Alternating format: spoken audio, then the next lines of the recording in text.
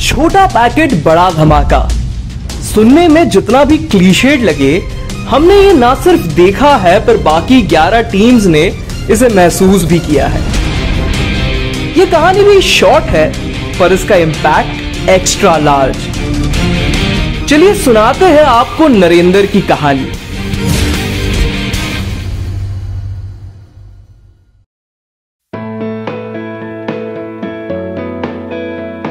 छोटे छोटे थे बचपन में। तो गाँव में पहले सीनियर प्लेयर खेलते थे तो ऐसे ग्राउंड पे मस्ती में चले जाते थे।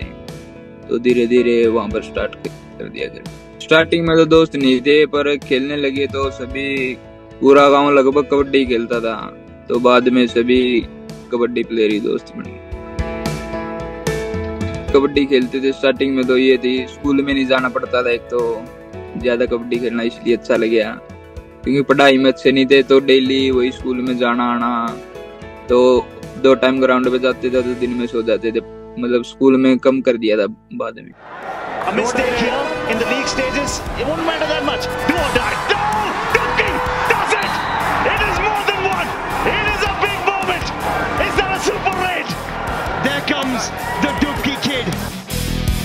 हरियाणा के बुडेन में परंपरा है कबड्डी की।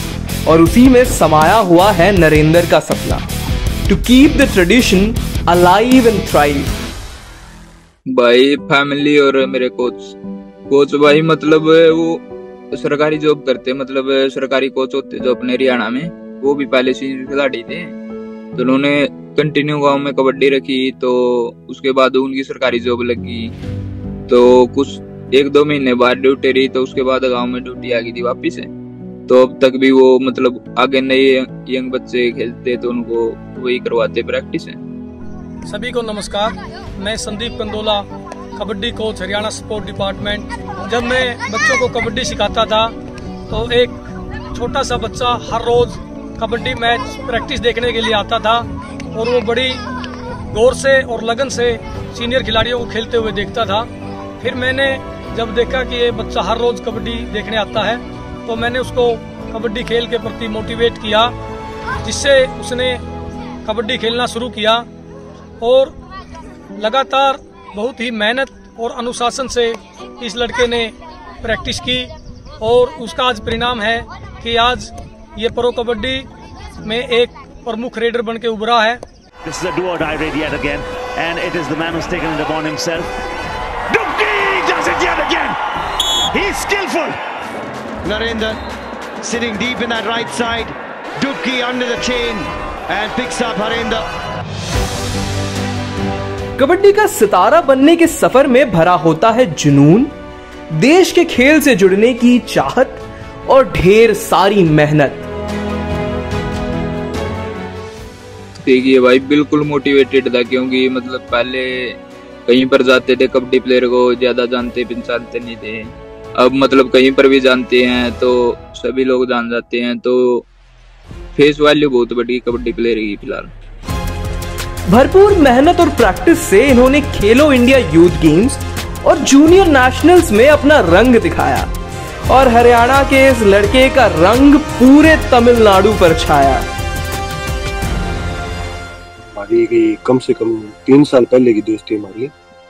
हमने साथ में टूर्नामेंट्स खेलना स्टार्ट किया था मतलब ये लोकल टूर्नामेंट्स होती हैं वो खेलना स्टार्ट किया था तब से हमारी दोस्ती है। टूर्नामेंट यही खेलने आया था टूर्नामेंट में खेलने गया था हुआ था। तो वहाँ पर मतलब बोल चालू हुई थी। तो उसके बाद मतलब काफ़ी मतलब जितना क्लोज हो सकते उतना क्लोज आ गए मतलब अभी एक दूसरे को भाई मानते इतने क्लोज आ गए अभी तो। इंग्लिश में एक कहावत है luck shines on those who work hard for it और नरेंद्र के केस में, अब क्या ही बताए? पवन शेरावत के सीज़न नौ के पहले ही मैच में इंजरी के कारण नरेंद्र को मिला अपना big break and rest as they say is history Pawan Sehrawat has this man on his debut has shouldered the responsibility don't worry skipper I got this covered season 9 uh, you know it was uh, kind of a turning point for Narendra as well the time he you know started playing for Tamil Talaivas and uh, you know the way he performed. I mean, he got a lot of eyeballs in that season. So uh, that showed, you know, uh, what he's built of. दो महीने से camp भी चल रहा था पीछे तो मतलब मैच से पहले भी और पाँच दस मिनट तक तो वो खेले भी थे तो मतलब इस बीच में जो उन्होंने मेरा हौसला बढ़ाया तो मतलब वो बहुत इम्पोर्टेंट था।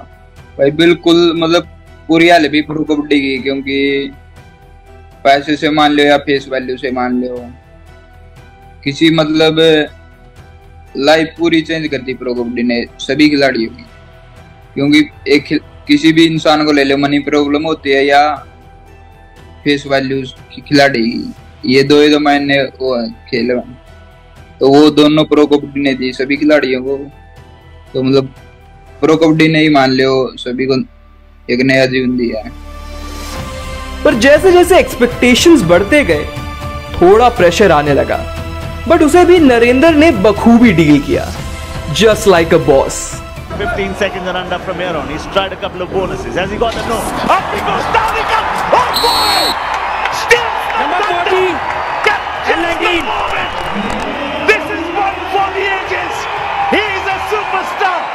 अभी भी गाँव में या कोई दोस्त जो साथ में खेलते थे, सभी मतलब नन्ना नाम से ही जानते सभी।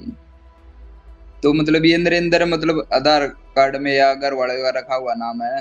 तो मतलब प्रो कबड्डी में नरेंद्र बोलते तो उसके बाद आईडी का मैंने नाम चेंज कर लिया नरेंद्र रख लिया था उसके बाद। नहीं मतलब यही था कि मैं बचपन में मतलब मेरी ज़्यादा हाइट नहीं थी।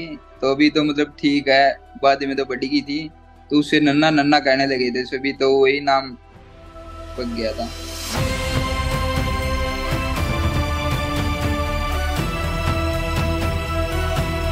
initially, you know, a few matches, first two, three matches, he was still okay, and then there was a downfall for seven matches where his performance was low. Uh, I'll give you behind the scenes since you asked this question. You know, I remember we were in Chennai, Chennai leg, and uh, we lost the match. And uh, I remember meeting Narendra. Narendra was just waiting. He was very disappointed with his performance and all that. You know, he didn't know what what happened. You know, sir, I could not move my leg. So basically, there was a little bit of you know uh, his body movement which changed from season nine to season ten, which our analysts had identified, and he had to work on it. His turn basically, and this was briefed to him, and he practiced that, and again came back, and you know, since then on, it was almost like super ten, super ten, super ten.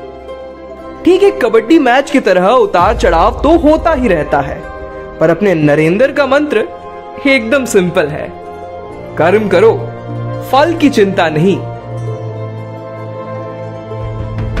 देखिए बिल्कुल proud feel होता है अपने देश को represent करने का मौका मिल रहा तो यही था कि ये आप, हम जितना अच्छा कर सकते उतना अपने लिए बेस्ट है, क्योंकि देश को मतलब पूरे वर्ल्ड में एक तो बारह लड़के जाए वो फीलिंग अलग होती है।